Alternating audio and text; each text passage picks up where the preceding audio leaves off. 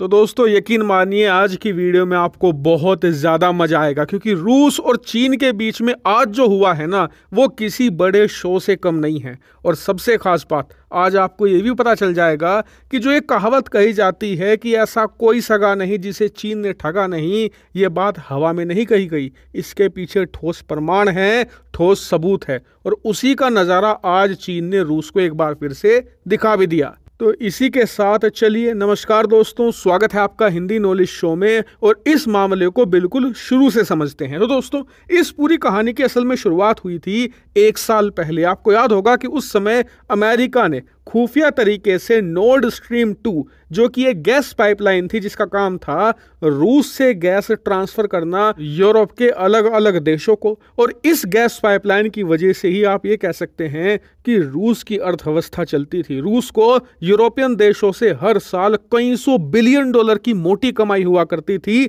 लेकिन जैसे ही अमेरिका ने युद्ध शुरू होने के कुछ ही महीनों के बाद नोर्ड स्ट्रीम टू को उड़ा दिया उसके बाद रूस की एक कमाई खत्म हो गई। लेकिन रूस जल्द से जल्द इस कमाई का अल्टरनेटिव ढूंढना चाहता था और वो विकल्प मिला इन्हें चीन में।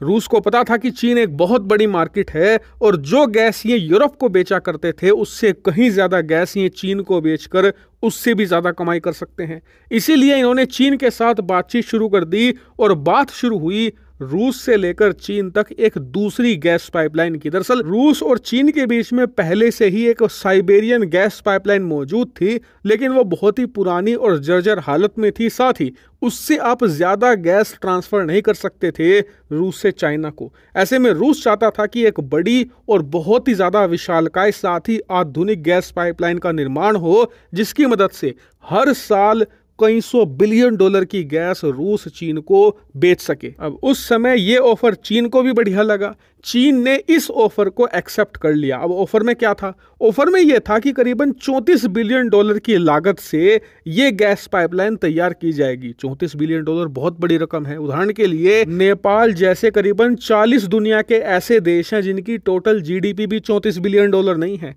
और उतनी लागत से ये गैस पाइपलाइन बनाने जा रहे थे। खैर बात यह हुई कि दोनों देश आधी आधी रकम लगाएँगे, यानी कि 17 बिलियन डॉलर लगाएगा रूस और 17 ही लगाएगा चीन। तो खैर, बात तय हो गई। ज़मीन तय कर ली, कहाँ से कहाँ तक गैस पाइपलाइन जाएगी, इसकी लेंथ क्या होगी, सब कुछ तय हो गया। काम भी शुरू हो गया और स्थिति यह है कि कल तक इस गैस पाइपलाइन का आधे से भी ज़्यादा काम कंप्लीट हो चुका है। ऐसा कह सकते हैं कि अगले साल तक इसका जो फाइनल स्टेज का काम है, वो भी कंप्लीट हो जाएगा। उसके बाद इस गैस पाइपलाइन के ज़रिए रूस, चीन को भारी मात्रा में गैस बेचना शुरू कर देगा। लेकिन क्या सब कुछ इतना बढ़िया है? नहीं। दरअसल, आज इस मामले में एक ऐसा खुलासा हो चुका है, जिसने पूरी दुनिया के होश उड़ा दिए हैं और रूस के तो हालात ये हैं कि वो माथा पकड़े बैठा है। क्यों?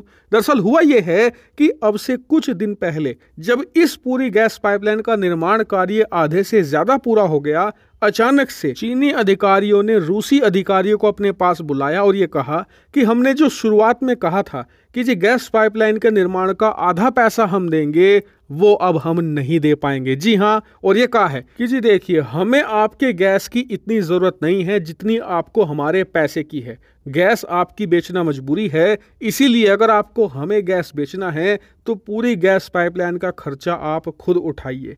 और बात सिर्फ़ यहीं तक सीमित नहीं है। आगे इन्होंने ये भी कहा कि खर्चा तो आपको पूरा उठाना ही पड़ेगा, साथ ही आपको हमें गैस पर बम्पर डिस्काउंट भी देना पड़ेगा। मतलब रूस पहले 34 बिलियन डॉलर जैसी भारी भरकम रकम खर्च करे गैस पाइपलाइन बनाने पर और उसके बाद वो कोडियों के दाम में चीन को गैस भी बेचे, जिससे कि उसे प्रॉफिट लगभग ना के बराबर हो। और बताया जा रहा है कि जिस दाम पर रूस से गैस मांग रहा है चीन, उससे तो इस गैस पाइपलाइन का खर्चा 50 साल में भी नहीं निकाल पाएगा रूस, क्योंकि प्रॉफिट लगभग ना के बराबर होगा। और रूस यहाँ पर बुरी तरीके से फंस चुका है, क्योंकि अब रूस की अर्थव्यवस्था को रिवाइव करने का, यानी कि दोबारा फिर से मज़बूत बनाने का तरीका ही यही था कि इस गैस पाइपलाइन को बनाया जाए और चीन को भारी भरकम गैस बेची जाए। लेकिन अब रूस फंस चुका है। आधे से ज़्यादा काम कंप्लीट हो चुका है। अगर वो काम रोकता है, चीन की बात नहीं मानता है तो फिर जो अब तक उसने अरबों डॉलर खर्च किए हैं,